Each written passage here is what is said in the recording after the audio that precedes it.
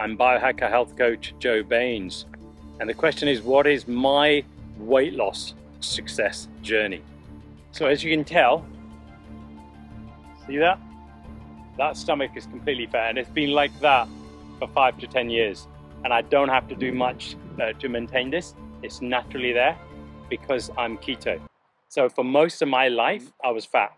I used to wear really loose clothing. I used to wear a shirt, you know, those big lumberjack shirts that were two sizes too big for me um, because to hide, hide my belly. I used to wear uh, loose trousers to hide my belly, to hide the fat on me. Uh, and I remember uh, when I first uh, went keto and when I first started to lose weight, like for most of my life, I couldn't see my penis because you know the belly was in the way, which was which was quite shocking to me. Like I remember being in the shower and looking down and I could see my penis. And I'm like, why, why can I see my penis? And it was like, oh, it's because um, I no longer have a belly. Slim. It's very easy to keep a slim belly. I'm talking about clean keto here, okay? So not the um, not the dirty keto that a lot of people out there practice. Um, yeah, so that's been my um, weight loss journey. Is is to stay away from carbs. at the beginning, I remember I used to I used to have a lot of cravings for carbs, and every time I used to eat, eat carbs, um, if I if I ate carbs for a couple of days, my belly would come back quite quickly, and I'd be quite shocked that boom, I had a belly again. Uh, and then, but all I had to do was cut out carbs, and boom, my belly would go down. But I eat a lot of fat, I, which is surprising. I eat a lot of butter, I eat a lot of ghee, I eat a lot of coconut oil, I eat a lot of extra virgin olive oil. I eat, eat a lot of avocados, all the fatty stuff. And when I eat meat, I eat the fattiest cuts of meat. So I never ask for like lean meat or any of that crap. Uh, and if, if my meat doesn't have enough fat, I add fat to it. Yeah, so that's how you lose weight.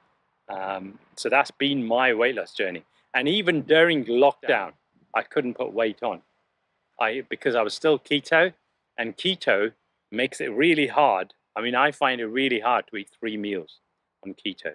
Like after one meal, my body's like, okay, I'm done. Maybe I'll have a second meal if I really push it, uh, but it's very rare, very rare.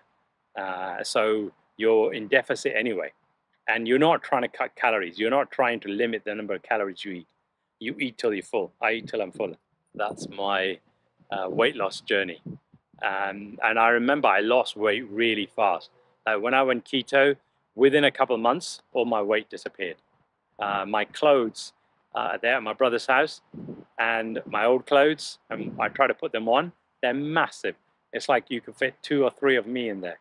Uh, so yeah. So I'm at the moment I'm uh, between 60 and 65 kilograms. Uh, when I was fat, I, I was about 75 or 70 to 80 kilograms. That's where my weight was at that time. And I know it doesn't seem much, but like I can really tell the difference. Do you know, like massive difference. Um, and I wear now skin tight clothes because I can, because I do what I want to, and I enjoy it. So enjoy. That's my weight loss journey.